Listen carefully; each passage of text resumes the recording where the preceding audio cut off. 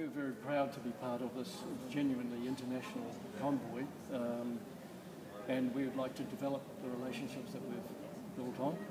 How do you feel that people in New Zealand can best support these international efforts and build support in New Zealand for Palestine? Uh, our friends and uh, comrades in, uh, in uh, New Zealand uh, are uh, participating with the efforts for lifting the siege in Gaza since the siege being uh, uh, imposed on Gaza. So they are trying to do their best. I remember from the, uh, the fifth convoy with uh, the Viva Palestina, uh, which, which, which came from London through Europe and uh, to Syria and Jordan.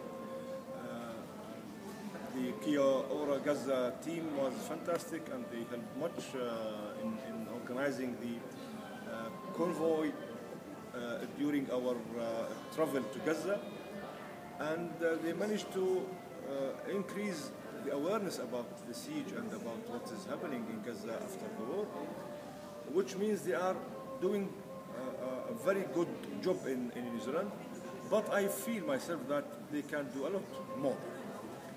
They can do a lot more because uh, helping the Palestinian is not just coming to Gaza, as you know. Gaza people, they want and they, they welcome everyone to come to Gaza and they feel happy that the people are feeling with them, are, uh, are caring about them. But I know from uh, the discussions I, I had with many of the leaders in Gaza that they believe, especially the Western people, uh, who came, who, who come from uh, Europe, from New Zealand, from Australia, from America, the main role for them uh, in the eyes of the people of Gaza is the lobbying in their countries.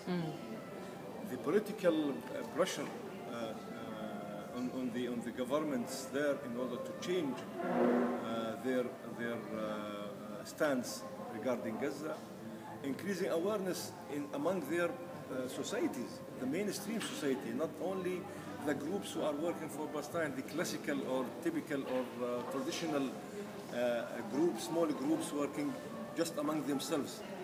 Gaza people they need, and Palestine in general, need from those people who are considered by Gaza people as heroes. So they expect from them a high expectation to increase awareness about their suffering among their societies. And they believe that visiting Gaza, for example, uh, once in, uh, in a year should be, should be giving the, the, the groups who are visiting Gaza the power for the full year of work in, in, in New Zealand, for example, or in any Western countries.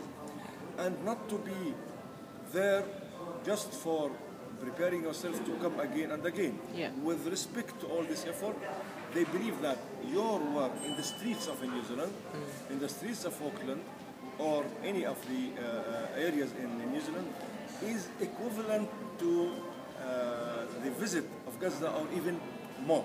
Yes. So this is their, I believe this is their expectation, not only from the New Zealand uh, people, from the Kiwi, or uh, but from all the Western people, because they believe that the Western people has more influence in politics on Israel than all the Arab and Muslim people who are coming to visit Gaza. And this is why their their expectation is very high from the Western uh, comrades and friends. We certainly agree with that, and we'll be taking the messages back from, from Gaza, what we've learned and what we've seen, and transmitting that through uh, to our people back home in New Zealand, and as you say, build up that support, that mainstream support, uh, as broadly as possible, and build up uh, yeah, solidarity for Palestine. Yeah, and I think I think Roger, in order to build this uh, awareness and uh, to increase it, I think uh, uh, you need you need. I'm, I'm sure you know this. You need to try to unite all the efforts uh, in, in in the country there. In order, because, because I know the, the movement in New Zealand is not uh, as strong as uh, the United Kingdom, of course. In the United Kingdom, there is a very nice example of the cooperation between all the sectors of the society uh, in order to support Palestine.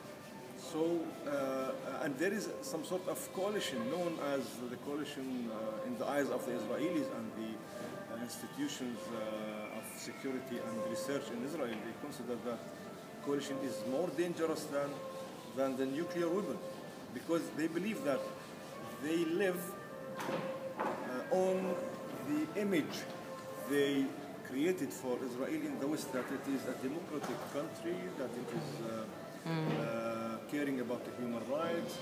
But when you talk about Israel and the, re- the reality about Israel, that means you are hurting the occupation. And uh, this is a very uh, strong uh, way of uh, resisting the uh, occupation of the Israelis to uh, Gaza and the whole Afghanistan. So yeah, thank you very much. Thank you very much. It's been a pleasure working with you. Thank you. And hopefully we can build